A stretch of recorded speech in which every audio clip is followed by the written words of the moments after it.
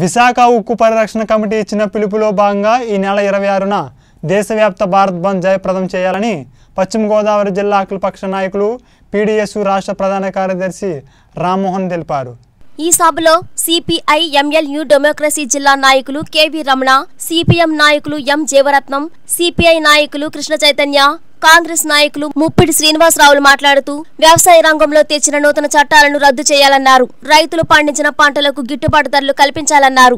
పెరుగుతున్న నిత్యావసర వస్తువుల ధరలను తగ్గించాలని మరియు విశాఖ ఉక్కు పరిశ్రమను ప్రైవేటీకరించవద్దని విశాఖ ఉక్కు కర్మాగారం అమ్మకానికి పెట్టవద్దని ఉక్కు కర్మాగారం నిర్వాసితులకు ఉద్యోగాలు నష్టపరిహారం ఇవ్వాలని డిమాండ్ చేశారు. స్టీల్ ప్లాంట్కు మైనింగ్ గనులు ఏర్పాటు చేయాలని తదితర డిమాండ్ల పరిష్కారం కోసం ఈ నెల ఇరవై ఆరున జరిగే భారత్ బంద్ జయప్రదం చేయాలని ప్రభుత్వ ప్రైవేట్ ప్రైవేట్ సంస్థలు మరియు ప్రజలు ప్రజాస్వామికవాదులు విద్యా వ్యాపార వర్గాలు సహకరించాలని అఖిలపక్ష నాయకులు పిలుపునిచ్చారు. ఈ సభలో బీఎస్పీ నాయకులు రాజ్ కుమార్ సిఐటియు సుభాష్ని రాంబాబు తదితరులు పాల్గొన్నారు.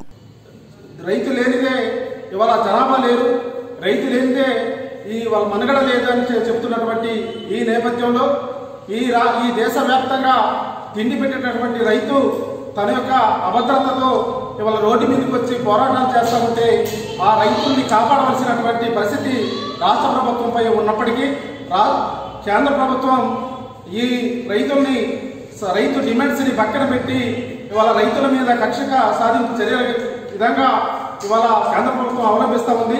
దానికి నిరసనగా దేశవ్యాప్తంగా రైతులు పండించిన పంటలకు గిట్టుబాటు ధరలు లేవు. అలాగే నిత్యావసర వస్తువుల ధరలు విపరీతంగా పెరిగి ఈరోజు నూట యాభై శాతం ధరలు పెరిగి ఇవాళ కొనుగోలుదారుడు తన కొనుక్కోలేని పరిస్థితుల్లో ఇవాళ కొనుగోలుదారుడు ఉన్నాడు.